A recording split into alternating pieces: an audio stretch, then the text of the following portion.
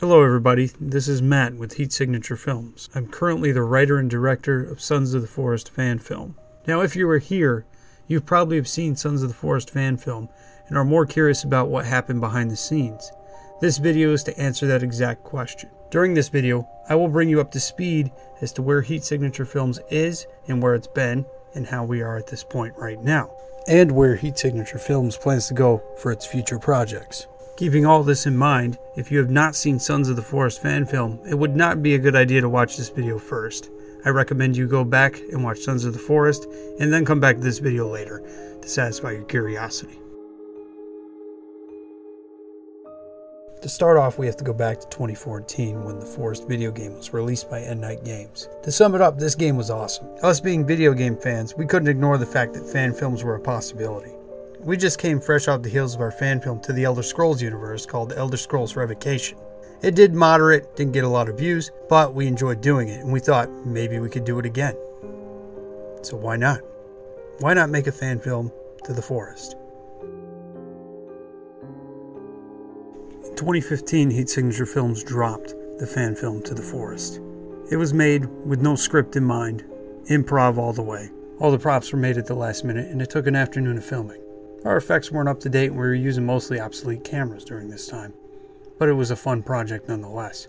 We tried to cover the bases of the video game cannibals, check. Luggage, check. Throwing a tennis ball, check. Survival, check.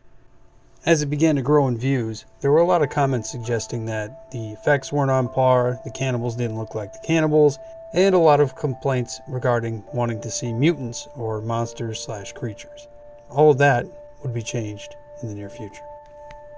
As of now, the fan film To the Forest sits at 12k views, and that's all thanks to you guys. And all you newcomers, feel free to check it out. It's not as good as Sons of the Forest, but it certainly gives you an idea of where we came from. About five years ago, Heat Signature Films expressed interest in continuing the series of The Forest with a small teaser. But inspiration quickly dried out and we took the teaser down. For a while, things just slowed down. Heat Signature Films did other films, originals mostly. And then, this happened. Endnight Games dropped a trailer for Sons of the Forest. The trailer looked amazing. After seeing that trailer, we knew we had to come back. The inspiration was back, the light was back. This time we were going to do it better. Better production, better effects, better cameras.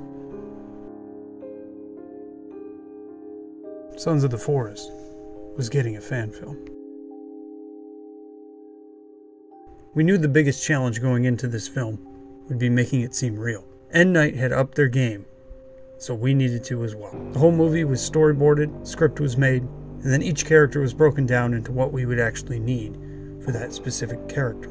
Oh, and of course, what mutants slash creatures would we be introducing this time? It was ultimately decided that there would be no dialogue in this film.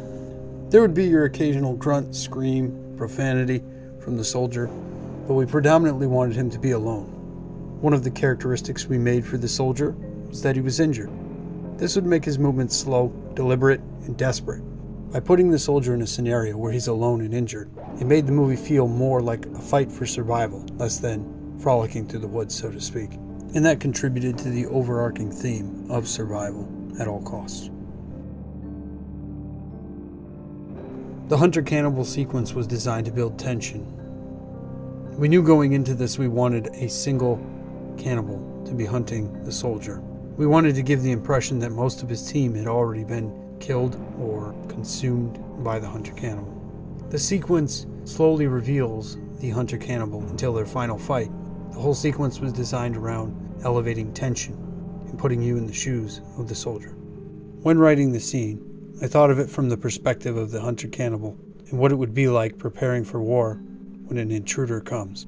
This is why we gave the hunter cannibal a skull helmet and the proper weapons to dispose of his enemies and subsequently consume them. When we first saw the trailer, we saw this gigantic cannibal wearing a mask, a gold mask holding up another cannibal by his throat. I'm sure you guys remember. When we saw this monstrous cannibal, we decided that he needed to be in the film, and he needed to be an overimposing force against our hero. Again, we thought of the perspective from the cannibal and what it would be like having an intruder in his territory.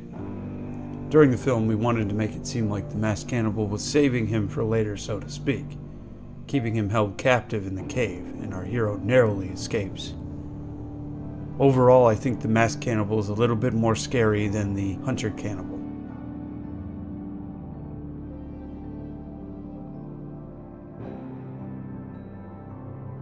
Ah, yes, fingers. That was the mutant we chose to display in this movie. The issue was trying to create him and make him real.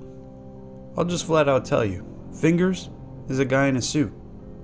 Think of him like a pillowcase with an open mouth. The real challenge was trying to figure out how to make Fingers appear real, and we felt that the only way to do that would be to make a full body suit rather than a miniature or go CGI. That being said, Heat Signature Films has relatively stayed in the area of practical effects, and why not keep it that way for the monster? We knew making this movie that presenting a mutant would be one of the hardest challenges, but we were able to overcome that. But I can tell you who suffered the most regarding this would be the actor who played Fig. He didn't have a lot of room to work, and it was a very difficult suit to work in. You're fine? Yep, I'm good. Yeah? Yeah. I'm ready to get out though, yeah. My arms need to move. Hi. Hello!